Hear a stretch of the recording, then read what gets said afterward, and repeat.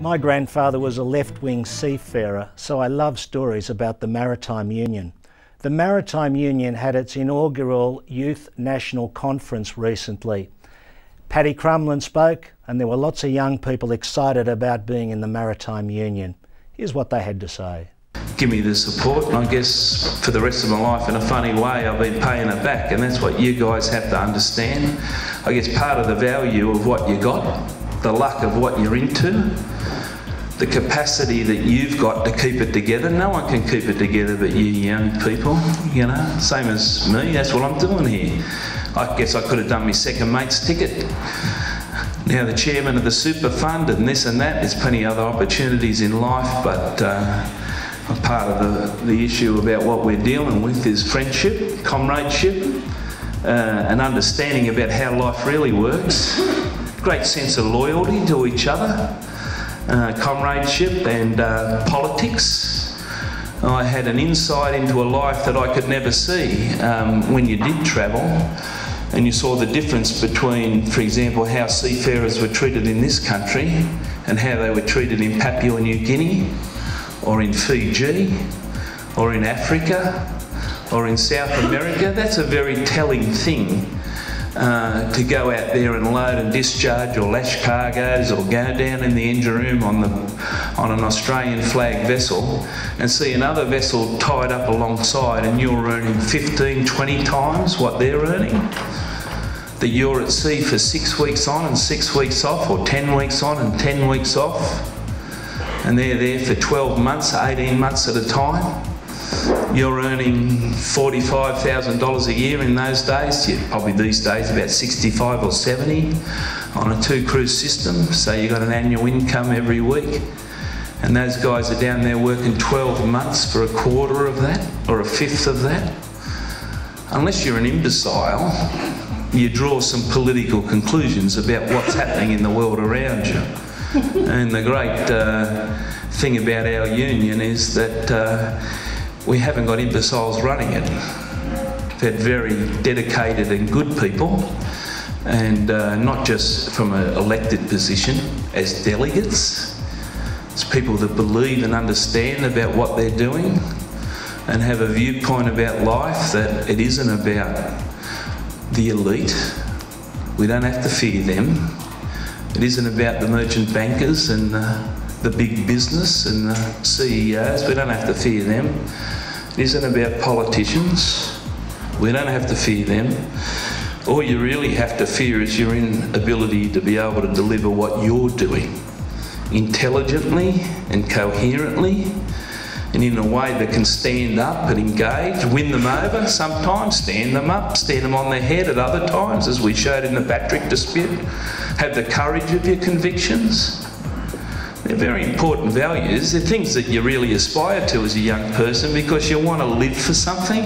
You want to live your father's life or your mother's life or your boss's life. You want to live your own life. And what the union does give you and what this conference is about is that you've got to find your voice in the union, of your vision, Generation Y, whatever you want to call yourself or however you describe yourself You've got to define your vision about what you want for the rest of your working life, and not only that, what you want to leave for other people to realise the same opportunity you've got. Um, and you've got good things to aspire to. You might think it's your job, right?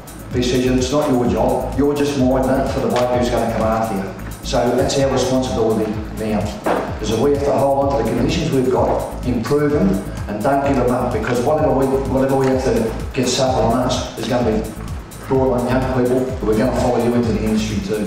When you, you look that we've got over 2,000 members, when I looked at all the figures, over 2,000 members um, of 30 and under, and that's a lot of members.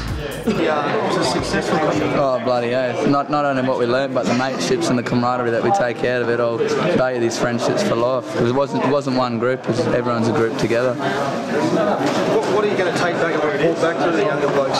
Oh, I'm going to, I'm going to, the younger blokes, I'm just going to take back to them and just say, look, look, the stuff that we learnt there's, there's priceless. And if you want to go places in the union, the door's always open. So the things that we learnt and stuff is just going to, just going to help myself and better myself as a of unionists. What are some of the things that will teach you over the last three days? Well, the things that I really took out of it, and myself, was probably like the, the delegates and the networking that would take out of it, the Your Rights at Work, um, the international programs that the union work in conjunction with, and um, yeah, just, just everything in general was really, really handy to know and will help us out in the future.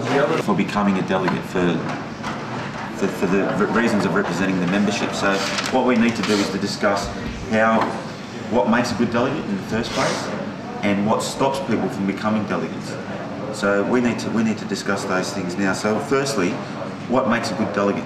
Yeah, we're just aiming to just get people there, just voice their opinions, and yeah, just start a start a union, start a union in this workplace. And at the end of all this, um, we started an occupational health and safety committee after we had a union. After we had the union in, we started our H&S committee just to just to make sure things do operate the way that they're supposed to. And obviously, at the end of at the end of everything, we want to get a delegate structure in place, just so there's, there's a proper structure where the boss can look look on the unions and he can see a structure, he can see we're there. We've got a structure, we mean business. And at the end of it all, the biggest goal is obviously to get our to get our workplace on the EBA. So by the end of that, by the end of that process, it's a pretty long process. We allowed, I think we allowed three months to do the process, and by the end of that, we had our workplace. We were all covered under an EBA and a lot better for it. Collective agreement. Collective agreement.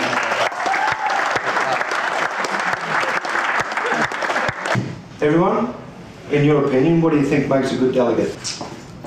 being a being a person who can uh, rationalise, talk to a boss and like come to the table, meet halfway. Not meet halfway, but be diplomatic. You know, you got to you got to uh, you got to uh, explain to the boss exactly what you're doing.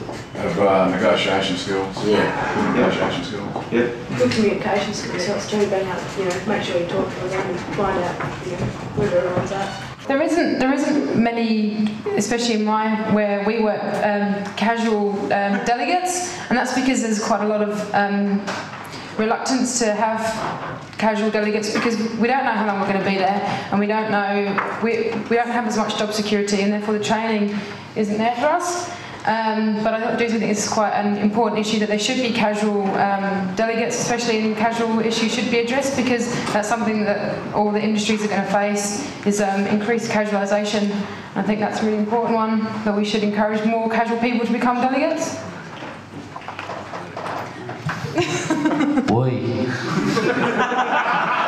Let's get this over and done with. Um, I think something that we touched on more than anybody else was, was trustworthiness. You've got to know that if you go to your delo, that they're going to treat your um, issue with um, a certain element of trustworthiness. You're not going to tell lots of people, especially if the um, it might be quite a personal issue.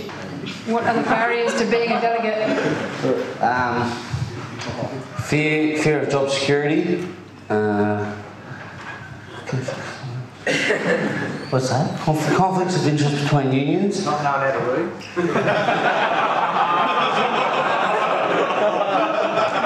Could I get glasses? Four eyes.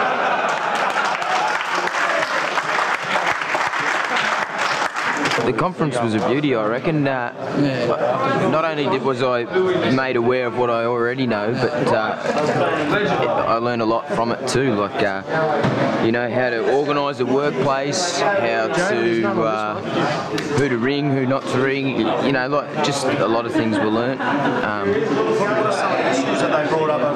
uh, some of the issues were uh, international solidarity.